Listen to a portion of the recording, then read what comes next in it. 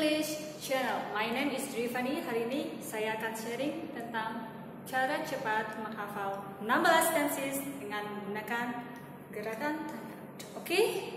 Oke, okay, kalian juga bisa mempraktekkan ini di rumah dengan menggunakan gerakan tangan dan jangan lupa dengan menirukan dengan suara yang keras. Siap ya? Oke, okay, guys, jadi tenses itu dipengaruhi oleh dua hal.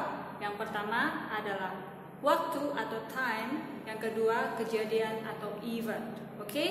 time atau waktu itu ada empat. Apa saja? Ada present, ada past, ada future, ada past, future. Oke, okay. kejadian juga ada empat. Apa saja? Ada simple, ada continuous, ada perfect, perfect, continuous. Oke? Okay? Tenses, 16 tenses adalah kombinasi antara time, dan event. Kita mulai ya dari simple, oke? Okay? Simple present, simple past, simple future, simple past, future. Bagaimana dengan continuous? This is continuous, oke? Okay? Oke. Okay.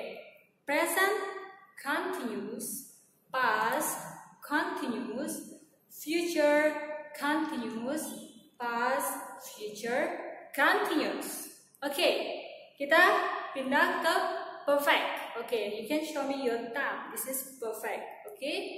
present, perfect, past, perfect, future, perfect, past, future, perfect. Oke, okay?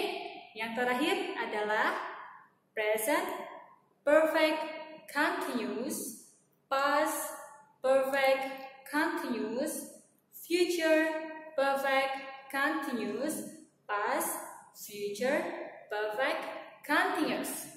Gimana guys? Gampang kan?